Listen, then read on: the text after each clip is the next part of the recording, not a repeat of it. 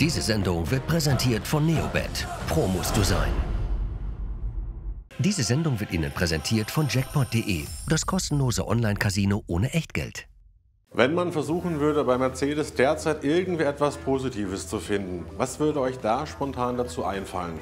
Wahrscheinlich genauso wenig wie Toto Wolf, der sich derzeit schlichtweg ratlos zeigt. Lewis Hamilton frustriert, ja und auch George Russell, der weiß auch nicht so recht, was er sagen soll. Bei Lewis Hamilton zum einen, er sei das beste Auto, was er seit längerer Zeit fährt und auf der anderen Seite kommen diese desolaten Ergebnisse bei rum.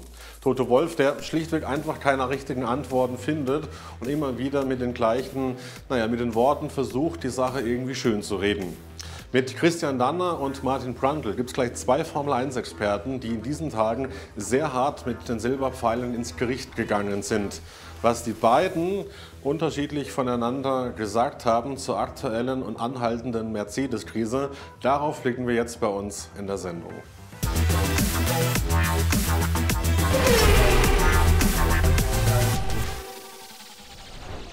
Ja, ein düsteres Bild gibt Mercedes da derzeit von sich ab, wobei derzeit relativ ist, eigentlich schon seit 2022. Und seither zieht sich das wie eine rote Linie durch. 2022 gerade einmal einen Erfolg, einen Doppelsieg von George Russell und Lewis Hamilton. Ansonsten große Probleme, das Auto zu verstehen, große Probleme auch gerade was das Bouncing betrifft. 2023 die Hoffnung, dass endlich alles besser wird und was folgte war wieder keine Verbesserung. Trotzdem schaffte man es immerhin als Vize-Weltmeister in der Konstrukteurswertung die Formel 1-Saison 2023 abzuschließen. Nun also, im dritten Anlauf sollte es endlich wieder gelingen, zurück an die Spitze, zurück zum Erfolg. Doch es scheint eher so, als habe Lewis Hamilton geahnt, als er mit Ferrari über einen Deal sprach, gewusst zu haben, dass auch 2024 es nicht arg viel besser verlaufen wird. Und was soll man sagen? Nach den ersten vier Rennen ist es genauso eingetreten, wie wahrscheinlich er es vermutet hat.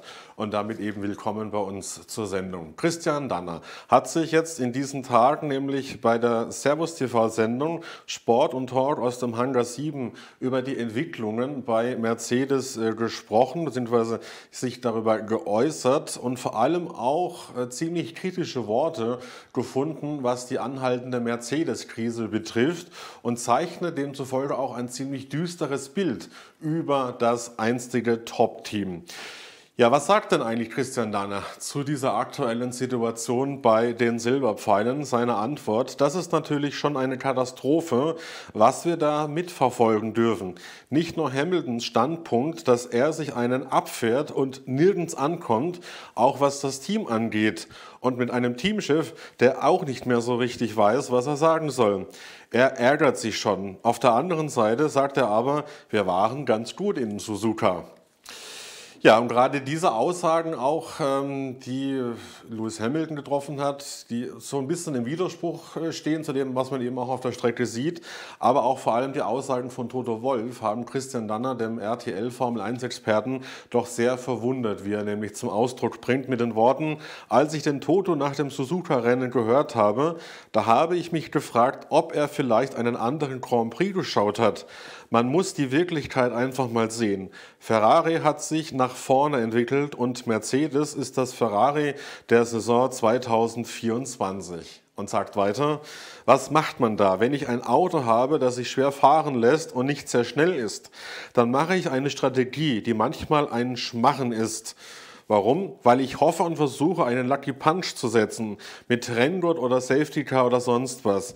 Dann hat es vielleicht funktioniert. Genau das hat Ferrari im Vorjahr gemacht.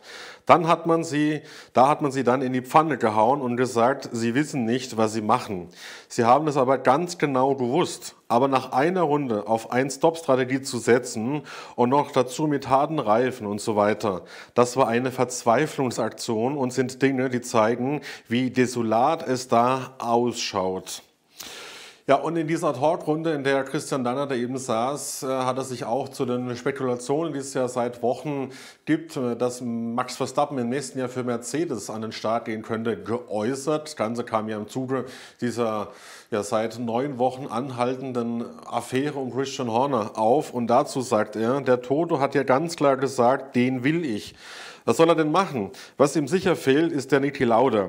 Er hätte ihn da durchgeführt. Toto hat ein Aero-Team, auf das er sich verlassen muss. Man sieht sehr schön, die wirklich wichtigen Dinge werden vom Principial ko koordiniert. Aber gemacht werden die Autos nicht vom Principal. Fahren muss dann der Fahrer das, was da steht. Da kann ein Christian Horner managen, was er will, das Auto geht. Bei Toto ist das im Moment das Problem und seine Fahrer sagen auch, sie sind lost. Ja, das ist eine nette Umschreibung. Man ist oder man empfindet sich oder das Ganze als ziemlich verloren. So scheint es auch vor allem mit Blick auf die Konstrukteurswertung nämlich äh, zu sein. Ja, und gerade auch sein letztes Jahr bei Mercedes hat sich der siebenfache Weltmeister natürlich mit Gewiss ganz anders äh, nämlich vorgestellt, aber ist eben, wie schon angesprochen, wahrscheinlich vor seiner Unterschrift bei Ferrari womöglich schon geahnt. Ja, und die Bilanz nach vier Rennen für Lewis Hamilton, die sieht äh, ja, ziemlich mau aus. In keinem der bisherigen vier gefahrenen Rennen kam Lewis Hamilton über einen siebten Platz hinaus. Beim letzten Grand Prix in Japan, in Suzuka, war es gar nur Platz 9. Und zwei Wochen zuvor in Australien in Runde 17 mit einem kapitalen Motorschaden ausgefallen. Ja, und mit Blick auf die Konstrukteurswertung steht Mercedes so schlecht da wie schon seit Jahren nicht mehr. Gerade einmal 34 Punkte und das bedeutet derzeit Platz 4, aber der scheint auch schon ziemlich in Gefahr zu sein, denn da lauert nämlich äh, direkt dahinter das Aston Martin Team, das nämlich nur einen Zähler auf Mercedes derzeit fehlt. Und man darf nicht vergessen, Mercedes war 2023 immerhin Vize-Weltmeister in der Konstrukteurswertung. Ja, aber warum tut sich denn Mercedes auch im dritten Jahr so unfassbar schwer? Und warum finden sie eben keine Antworten? Da wurde eben auch Martin Brundle, der, der frühere Formel-1-Fahrer und heutige Formel-1-Experte im Podcast von Sky Sports F1 gefragt. Und er sagt, Sie müssen dieses Auto verstehen und ich denke, das ist eine große Sorge für alle Menschen dort, dass das nicht klappt. Denn Mercedes habe eigentlich, so es weiter, eine Menge sehr kluger Leute, die über eine riesige Menge an Ressourcen, Performance-Tools und ein großes Budget verfügen. Und wenn die nicht wissen, woran es liegt, dann kann ich es auch nicht sagen.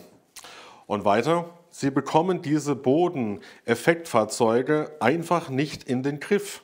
Ihr Problem ist, dass das Auto von Zeit zu Zeit wunderbar funktioniert und sie phasenweise wirken, wirklich ziemlich schnell sind. Aber sie können das nicht von, von Session zu Session reproduzieren, geschweige denn von Tag zu Tag, geschweige denn von Grand Prix zu Grand Prix. Ja, und ähm, Martin Brundle beschreibt die Situation eben auch so, dass äh, eben Mercedes immer auf Messers Schneide unterwegs sei und sagt, immer wenn man denkt, sie haben das Auto im Griff, können sie jetzt kurz danach nicht mehr verstehen. Wenn man in dieser Situation ist, wenn die eigenen Werkzeuge und all die klugen Leute nicht mit der Stoppuhr und der Leistung anderer Autos auf der Strecke korrelieren und man nicht herausfinden kann, warum, dann ist das wirklich frustrierend und ich würde sagen, sehr beunruhigend. Also auch da, wir sehen es, beziehungsweise wir hören es, auch da ein sehr düsteres Bild von Martin Brundle, aber eben auch das von Christian Danner. Alles andere als nur ansatzweise rosig. Schwierige Zeit, die Mercedes da aktuell durchmacht und vor allem eben auch gerade diese anhaltende Krise kann es unter anderem dem Team auch so schwer machen, einen ja, wirklich geeigneten Nachfolger für Lewis Hamilton bei Mercedes zu finden. Denn ein Max Verstappen, den kann man augenblicklich eher schlecht damit überzeugen, denn ein Max Verstappen will weiter Weltmeister werden. Das ist gerade das, was Mercedes nicht bieten kann. Nicht einmal Siege, nicht einmal ein Podestplatz. All das wirklich in weiter Ferne. Und wer soll sich da schon drauf einlassen? Höchstens ein Fahrer, für den ein Engagement bei Mercedes eher ein Upgrade wäre. Für alle anderen wäre es eher ein Downgrade.